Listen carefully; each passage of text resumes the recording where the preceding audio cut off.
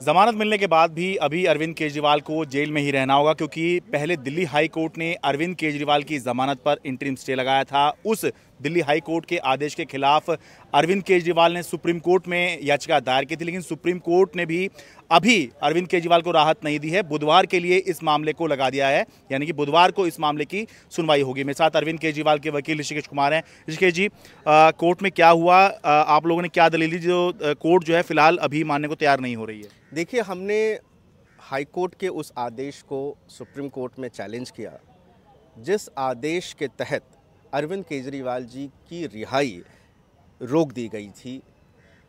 Friday को trial court का order stay कर दिया गया था हाई कोर्ट के द्वारा। उसको हमने चैलेंज किया था।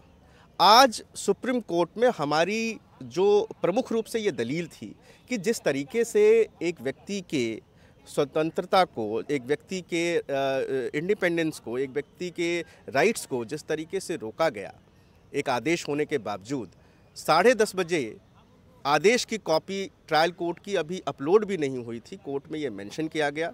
कोर्ट ने ओरल ऑब्जर्वेशन में स्टे किया और मामले की सुनवाई करते करते फाइनली जो है, जो आदेश पास किया, उसमें ये कहा कि हम एंट्री स्टे पर रिज़र्व करते हैं। ये एक अनयूजल प्रैक्टिस थी। और यही आज जो है ओरल ऑब्जर्वेशन में माननीय सुप्रीम कोर्ट ने हमारी दलील सुनने के बाद ये ऑब्ज़र्व किया कि ये अनयूजल है अनप्रेसिडेंटेड है और ऐसा नहीं होता है।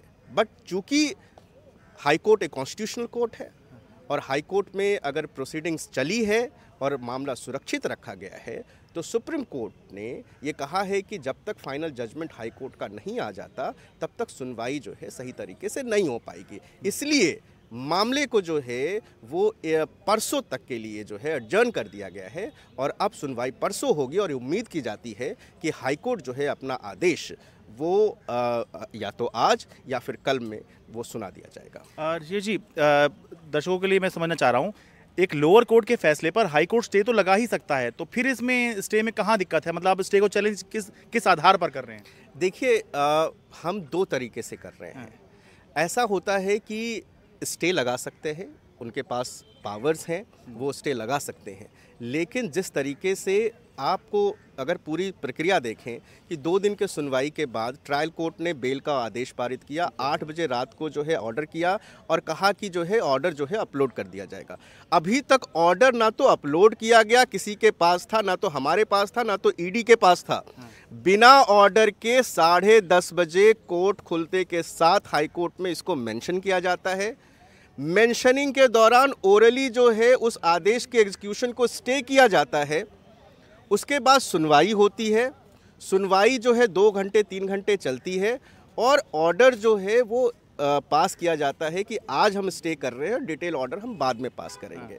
देखिए किसी की अगर किसी को बेल मिल गई है एक एक कॉम्पिटेंट कोर्ट ने बेल दिया है और अगर आप उस पर स्टे लगाते हैं तो हमारा ये दलील है जो सुप्रीम कोर्ट के सामने है कि हम ये मानते थे, हम लोग, हमारा ये मानना था कि माननीय हाई कोर्ट एक डिटेल और एक रीज़न ऑर्डर पास करती।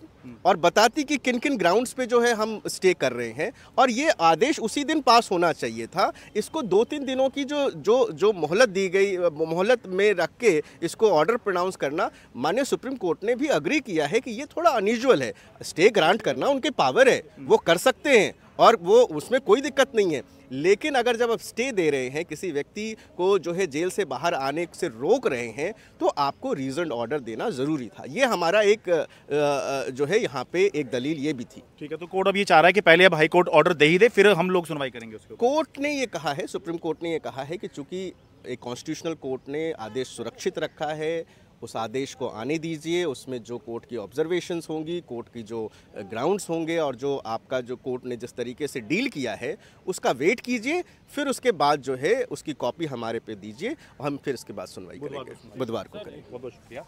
सुप्रीम कोर्ट दिल्ली से अपने कैमरा सहयोगी सचिन गुप्ता के साथ मैं शरद शर्मा एनडीटीवी इंडिया।